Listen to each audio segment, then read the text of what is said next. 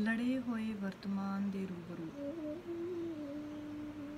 ਮੈਂ ਅੱਜ ਕੱਲ੍ਹ ਅਖਬਾਰਾਂ ਤੋਂ ਬਹੁਤ ਡਰਦਾ ਹਾਂ। ਜ਼ਰੂਰ ਉਹਨਾਂ ਵਿੱਚ ਕਿਤੇ ਨਾ ਕਿਤੇ ਕੁਝ ਨਾ ਹੋਣ ਦੀ ਖਬਰ ਛਪੀ ਹੋਵੇਗੀ। ਸ਼ਾਇਦ ਤੁਸੀਂ ਜਾਣਦੇ ਨਹੀਂ ਜਾਂ ਜਾਣਦੇ ਵੀ ਹੋ ਕਿ ਕਿੰਨਾ ਭਿਆਨਕ ਹੈ ਕਿਤੇ ਵੀ ਕੁਝ ਨਾ ਹੋਣਾ। ਲਗਾਤਾਰ ਨਜ਼ਰਾਂ ਦਾ ਹਫਦੇ ਰਹਿਣਾ ਤੇ ਚੀਜ਼ਾਂ ਦਾ ਚੁੱਪਚਾਪ ਲੇਟੇ ਰਹਿਣਾ। ਕਿਸੇ ਠੰਡੀ ਔਰਤ ਵਾਂਗ।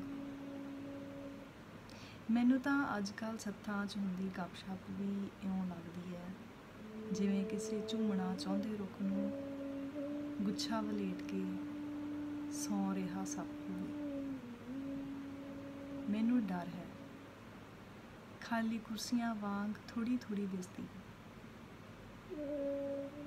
ਇਹ ਦੁਨੀਆ ਸਾਡੇ ਬਾਰੇ ਕੀ ਕੁਝ ਉਲਟ ਪੁਲਟ ਸੋਚਦੀ ਹੋਵੇਗੀ? ਅਫਸੋਸ ਹੈ ਕਿ ਸਦੀਆਂ ਬੀਤ ਗਈਆਂ ਹਨ। ਰੋਟੀ, ਕੰਮ ਤੇ ਸਿਵੇ। ਅਜੇ ਵੀ ਸਮਝਦੇ ਹੋਣੇ ਨੇ ਕਿ ਅਸੀਂ ਇਹਨਾਂ ਦੀ ਖਾਤਰ ਹੀ ਹਾਂ। ਮੈਂ ਉਲਝਣ ਵਿੱਚ ਹਾਂ ਕਿ ਕਿਵੇਂ ਸਮਝਾਵਾਂ? ਸੰਗਾਉਂ ਸਵੇਰਿਆਂ ਨੂੰ ਜਥੇਬੰਦ ਰਾਤਾਂ ਤੇ ਬੀਬੀਆਂ ਆਥਣਾਂ ਨੂੰ। ਅਸੀਂ ਕੋਈ ਇਹਨਾਂ ਤੋਂ ਸਲਾਮੀ ਨਹੀਂ ਲੈਣ ਆਏ। ਤੇ ਹਾਨ ਨੂੰ ਹਾਨ ਜਿਹਾ ਕੁਝ ਕਿੱਥੇ ਹੈ? ਜੋ ਜਫੀਆਂ ਲਈ ਖੁੱਲੀਆਂ ਬਾਹਾਂ ਤੋਂ ਬਸ ਹੱਥ ਭਰ ਕੇ ਮਿਲਦਾ ਰਹੇ। ਅੱਜ ਕੱਲ ਹਾਦਸੇ ਵੀ ਮਿਲਦੇ ਨੇ ਤਾਂ ਇਉਂ ਜਿਵੇਂ ਕੋਈ ਹੌਕਾ ਜਿਹਾ ਬੁੜਾ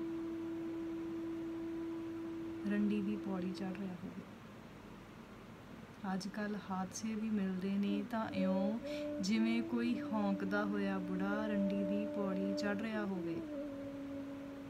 ਕਿਤੇ ਕੁਝ ਇਸ ਤਰ੍ਹਾਂ ਦਾ ਕਿਉਂ ਨਹੀਂ ਹੈ? ਜਿਵੇਂ ਕਿਸੇ ਪਹਿਲੀ ਨੂੰ ਕੋਈ ਪਹਿਲਾ ਮਿਲਦਾ ਹੈ। ਭਲਾ ਕਿੱਥੋਂ ਪਤੀਕ ਜਾਏਗਾ? ਇਹ ਸਿੰਘਾਂ ਵਾਲੀ ਕਬਰ ਅੱਗੇ ਦੌੜਦਾ ਹੋਇਆ ਮਹਾਤਮਾ ਲੋਕਾਂ ਦਾ ਵਰਸੋਇਆ ਇਹ ਮੁਲਕ। ਆਖਰ ਕਦੋਂ ਪਰਤਾਂਗੇ? ਘਟਨਾਵਾਂ ਵਾਂਗ ਵਾਪਰ ਰਹੇ ਘਰਾਂ 'ਚ। ਅਸੀਂ ਜੀਨ ਦੇ ਖੜਕੇ ਤੋਂ ਜਲਾਵਤ ਹੋਏ ਲੋਕ ਤੇ ਬਹਿ ਕੇ ਧੂਣੀ ਤੇ ਕਦ ਸੁਣਾਂਗੇ। ਮਜਾਜਣ ਅੱਗ ਦੀਆਂ ਗੱਲਾਂ। ਕਿਸੇ ਨਾ ਕਿਸੇ ਦਿਨ ਜ਼ਰੂਰ ਆਪਣੀਆਂ ਚੁੰਮੀਆਂ ਨਾਲ ਅਸੀਂ ਮੌਸਮ ਦੀਆਂ ਗੱਲਾਂ ਤੇ ਛਟਾਕ ਪਾਵਾਂਗੇ। ਅਤੇ ਸਾਰੀ ਦੀ ਸਾਰੀ ਰਾਤ ਅਤੇ ਸਾਰੀ ਦੀ ਸਾਰੀ ਧਰਤੀ ਇੱਕ ਅਜੀਬੋ ਗਰੀਬ ਅਖਬਾਰ ਬਣੇਗੀ, ਜਿਹਦੇ ਵਿੱਚ ਬਹੁਤ ਕੁਝ ਹੋਵਣ ਦੀਆਂ ਖਬਰਾਂ ਛਪਿਆ ਕਰਨਗੀਆਂ। ਕਿਸੇ ਨਾ ਕਿਸੇ ਦਿਨ